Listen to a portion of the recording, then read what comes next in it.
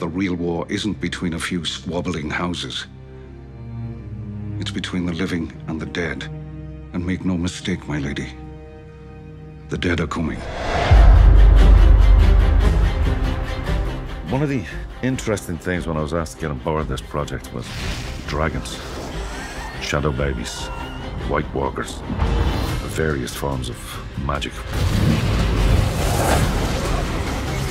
All that stuff is an extremely expensive backdrop to a magnificent tale of legacy, power, corruption, jealousy, and this wonderful soup of these amazingly written characters. Onion Knight. Sir Onion Knight. Princess.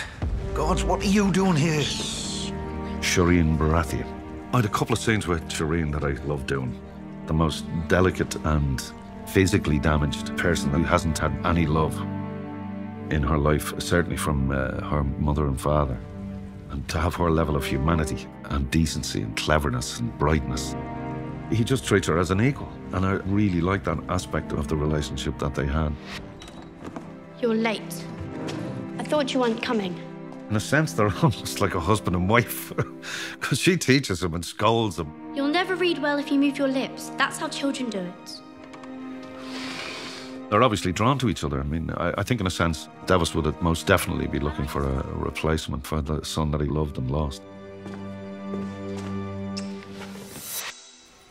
One of the most bizarre things I've ever filmed was in this freezing cold cave.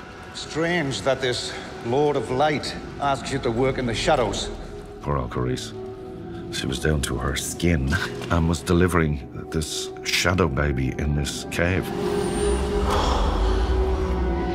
I remember looking at the monitor and seeing this beautifully lit picture of Carice in this very strange setting and position.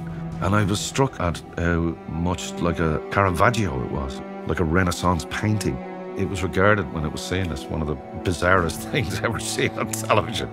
It was pretty bizarre to film as well, I can tell you. I shouldn't imagine I'd be filming anything like that ever again in my life.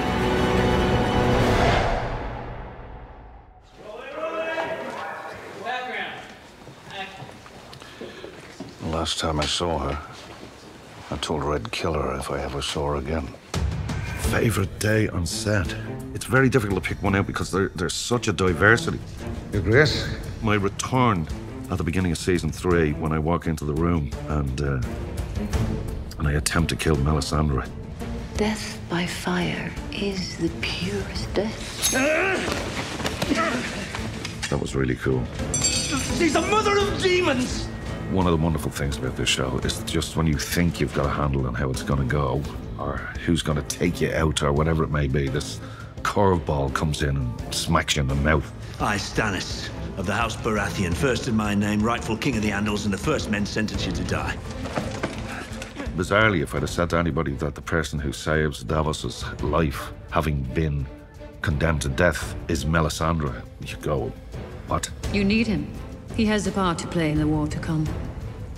We kill off a lot of loved and not so loved characters, usually when you least expect it. And yet, Davos is one of the kind of few characters in it that keeps appearing to be sailing very close to the wind, almost getting killed.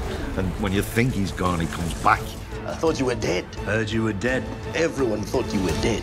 I've always kind of liked the irony of that. Do your knucklebones bring you luck? Well, life's been good since you hacked them off, Your Grace. And it's four less fingernails to clean. At the beginning of season three, I said the one thing that I'd like to take away from the show when I leave is the scrotum-like bag that held my my finger bones. Never understood why I had to wear them. Reminds me where I come from and where I am now. And I went missing for four and a half years. And Alec, our wonderful costume person, came round to me and went, look what I found.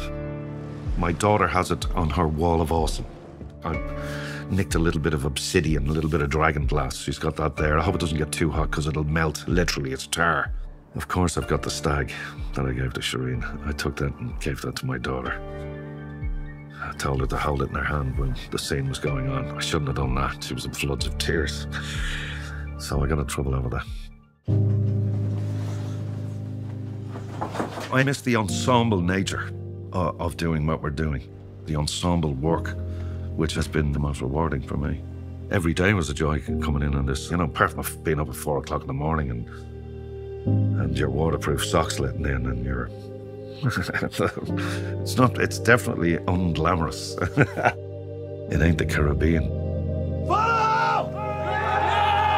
It's been extraordinary. Any actor worth his salt would like to be in something that is the, the highest quality possible.